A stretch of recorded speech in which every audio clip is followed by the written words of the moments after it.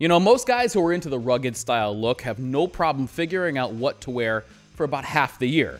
But during the summer months, usually they're they're like kind of looking around going, "What what can I wear now?" After all, wool and denim and heavy leather, stuff like that, it's all great in the fall and the winter time. But what about when summer comes around? What are your options? Well, for me, the go-to has always been my pair of sky blue naked and famous denim. It's it's a lighter weight, it's a beautiful color, great for the summer months. I've worn this stuff in the summer up here in New England. I've worn it down in Florida, you know, where it's hot and humid enough that even like the alligators get agitated, and it's been great.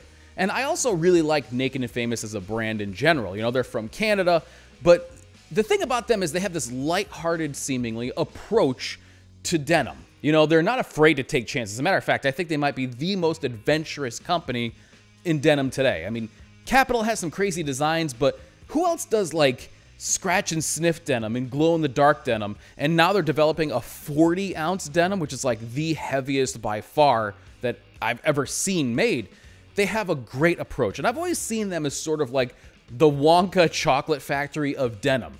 You know, just really adventurous, really fun, and they come out with some wild stuff. Well, this year, Naked and Famous went in a slightly different direction with their new Fox Fiber jeans.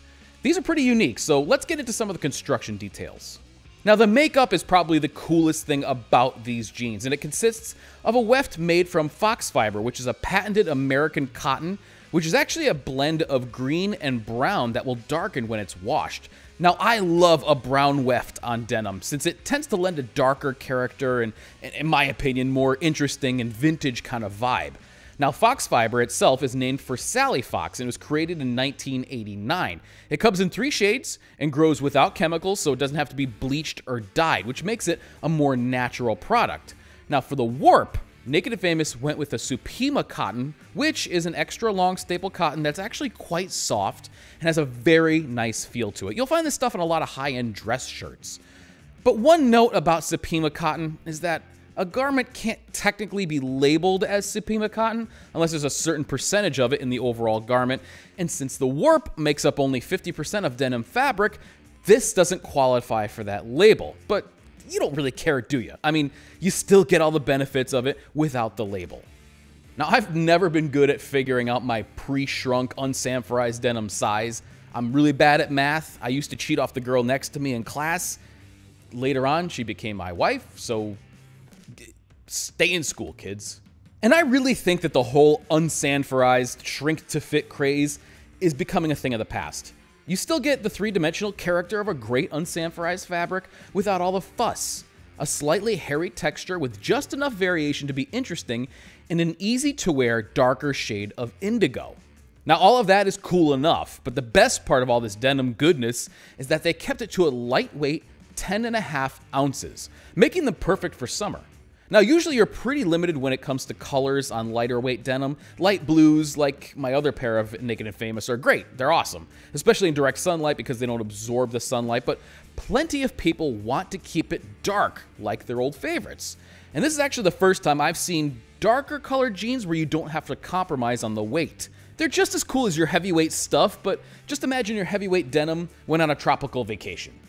So since the shrink has been washed out of it, you don't have to worry about guessing at all. You just look at the fit chart and work off of that. Of course, like most denim in this category, the inseam length is fixed. Now, you can cuff it or hem it depending on your preference, but I think a dark weft looks best when it's cuffed. Now, the Fox Fiber jeans are available in men's Super Guy Fit, Weird Guy Fit, and Easy Guy Fit, which is the pair that I have, along with women's Max and Classic fits. There's also a jacket available in the same fabric for $269 if your jeans collection is maxed out, or you just want to go with a denim tuxedo look. Now, aside from the fun aspect of Naked and Famous, they're also a really good value. And as a matter of fact, they're usually one of the first brands that I recommend to somebody for their first pair of good selvedge denim. But of course, being a review, I always like to mention a few competitive options. The first is the Stanton, which is 11 ounces from Rogue Territory.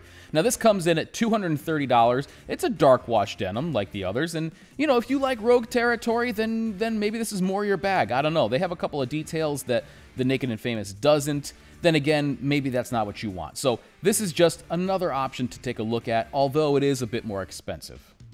From 316, there is the ST101X slim tapered lightweight selvage. Now, lightweight, you know, these are 12 ounces, so I'd say that they're right on the cusp of light to mid-weight, but still totally wearable in the summertime, and these could be yours for $215.